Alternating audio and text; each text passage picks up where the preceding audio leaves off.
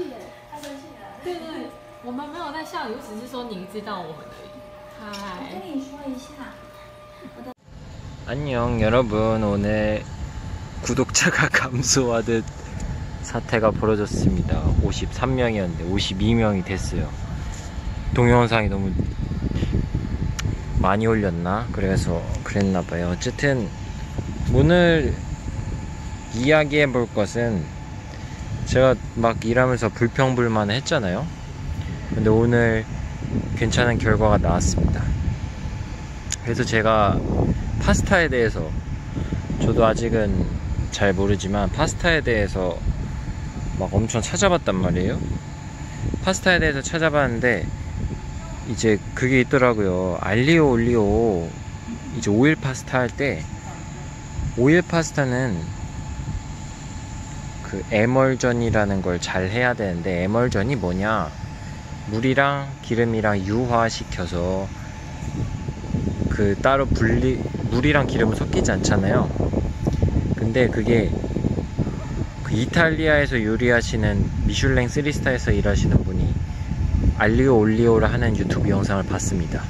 그래서 봤는데 펜치 펜치기라고 하죠. 펜치기를 이제 이탈리아어로 깔레텔레 깔라텔라?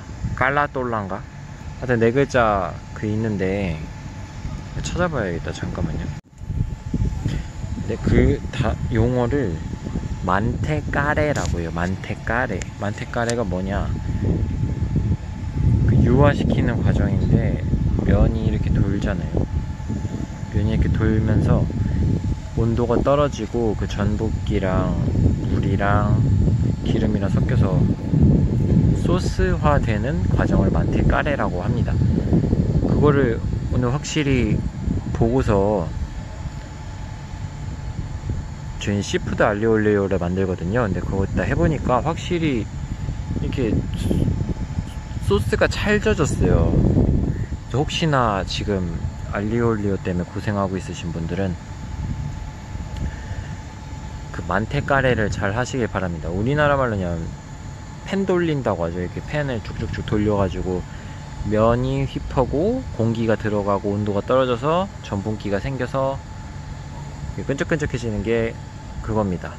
그 두 번째 불평했던 거 크림 파스타는 굳는다라는 게 있는데 이거는 아무리 생각해도 맞긴 맞아요. 굳는 게 왜냐면 크림은 추우면 굳잖아요. 근데 쉬, 레스토랑 안은 에어컨을 킨단 말이죠.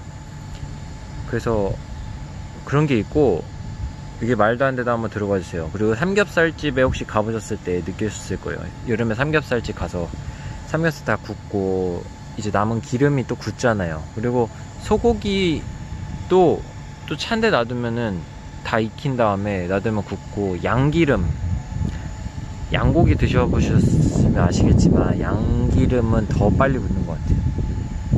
그래가지고 굳는 게 굳어요. 굳는 게 굳는다. 근데 크림 파스타를 만들 때 이제 제가 또 햄에다가 중요한 포인트를 잡았는데 이제 불평불만한 게 그거였거든요.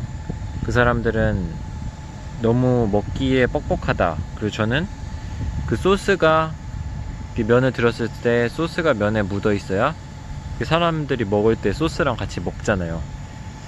근데 막 수저로 소스를 퍼먹는 거는 제가 생각했을 때는 파스타는 아니라고 저는 배웠고 그래서 이제 중간 지점을 오늘 찾은 게 그거예요. 내가 생각한 것보다 조금 연하게 빼면 됩니다. 이게 아마 되게 뜬금없는 소리라고 하겠지만 이거를 계속 만드시거나 좀 이거에 대해 고민을 하시고 있는 분이라면 좀 많이 도움이 될 것 같아요. 그리고 그 소스에 이제 파마산을 넣잖아요. 파마산이 더 소스를 이렇게 찐덕찐덕하게 하죠. 그 다음에 마지막에 계란 노른자를 넣으면 더 그게 만테카레가 만 이것도 만테카레인가? 어쨌든 엄청난 찰기가 생겨서 소스가 이만큼 있었는데 파마산이랑 달걀 노른자를 넣으면은 이게 쫙 줄어버려요. 그래서 그거를 할 때 이제 주의할 점이 그거죠. 내 생각보다 묽게 빼면 되더라고요. 그래서 오늘 그 여기 사장이 있는데 사장이 제가 처음 왔을 때 까르보 만들려고 해가지고 제가 좀 엄청 꾸덕꾸덕하게 만들었거든요. 그거에 대해서 막 제가 스트레스 받아가지고 막 올린 영상도 있을 거예요. 근데 그거에 대해서는 제가 실력이 부족했기 때문이라고 생각하고 지금은 이제 컨트롤을 하게 됐습니다. 그래서 내 생각보다 조금 낮게 빼고 여기 펜네 펜네면 쓰시는 분들 있나요? 펜네는 면이 아니지 펜네는 이렇게 둥그란 거 길쭉한 건데 그것도 이제 맛이 없다는 complain이 자꾸 오는 거예요. 그래서 오늘 왜 그런가 하면서 이제 먹어봤죠. 먹어봤는데 소스 간은 맞는데 이게 구멍이 있잖아요. 그리고 여기는 펜네 면을 바로바로 삶는 게 아니고 삶아놨던 걸 이제 끓이거든요. 다시 만든다고 하죠. 그래서 그거를 이제 혹시나 이거에 대해 고민하고 있으신 분들은 제가 제 경험을 잘 해가지고 잘 이겨냈기 때문에 이걸 말씀드리겠습니다. 이렇게 있잖아요. 그러면은 뭐 베이컨이나 양파를 어느 정도까지 하고 이제 스탁이나 아니면 물 넣으시는 분들은 물 넣고 스탁 넣는 사람은 스탁을 넣을 거예요. 넣은 다음에 거기다가 이거는 제 기준입니다. 전 틀릴 수도 있지만 다른 분들은 다른 방법이 있을 거예요. 어쨌든 그 물에 따라 그냥 간을 합니다. 근데 생각보다 좀 짜게 해야 돼요. 내 생각보다 짜게. 왜냐면 이게 둥근데 그 안까지 그 표면적을 생각하면 생각보다 짜야 되더라고요. 저는 그냥 소스 농도만 맞췄는데 생각보다 짜게 하고 그다음에 거기서 면을 좀 삶아요. 그 면 면이 아니지. 그 팬내에 거기에 간이 배고 거기다가 이제 생크림을 넣어서 농도를 맞춥니다. 그 다음에 나중에 파마산도 넣고 만약에 농도 실패하면 그냥 스탁이나 물을 더 넣으세요.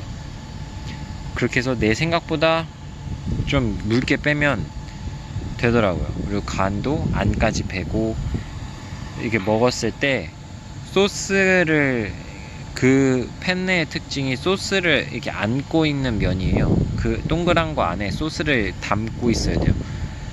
그래서 좀 어느 정도 농도까지 해주고 나갔을 때 이제 그 바깥의 온도 차가우니까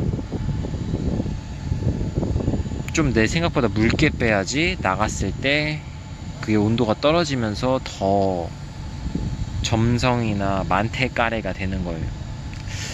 어쨌든 점성이 더 생기니까 오늘 제가 그거를 깨우쳤습니다. 뭐, 뭐 이렇게 묽게, 묽게, 묽게 하라고 했다고 진짜 묽게 하면은 잔치국수 되는 거예요. 잔치국수. 잔치국수 만들면 안 되잖아요. 그래도 이름이 파스타인데, 스파게티고 파스타인데, 잔치국수 만들면 그게 요리사 실력이겠습니까? 어쨌든, 뭐 궁금하신 점 있으면 댓글이나 뭐 남겨주세요. 그리고 구독, 구독 부탁드립니다. 만 명의 구독자를, 아, 일단 우선 천 명의 구독자 한번 가봅시다. 파이팅!